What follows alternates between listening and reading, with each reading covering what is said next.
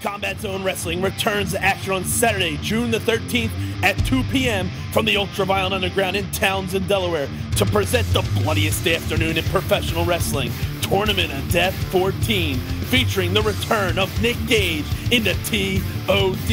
He, along with today's greatest deathmatch competitors compete for the bloodiest prize in the game today, the Tournament of Death Trophy. For tickets and complete information, please visit czwrestling.com. Combat Zone Wrestling, it's like nothing else. Is he? I don't know. Where's Danny Havoc? No, he wants to use the pit first, and if he has to, he'll use the ape Link light tube contraption.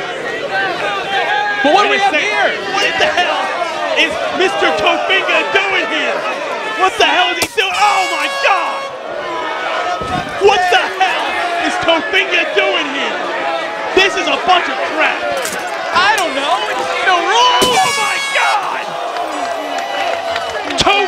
Has been sent here from Gulak Enterprises to make a statement, and I think that statement was to take Tournament of Death Ten away from Danny Havoc, and that is a bunch of bullshit.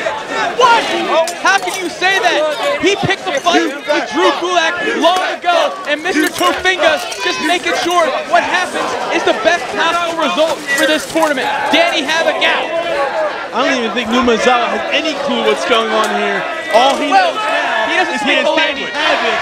He has Danny Havoc where he wants. I'm with these fans. Well, these fans are just letting him know where he hit Danny Havoc with those light tubes. Numazawa wants no parts of Mr. Tofiga right now.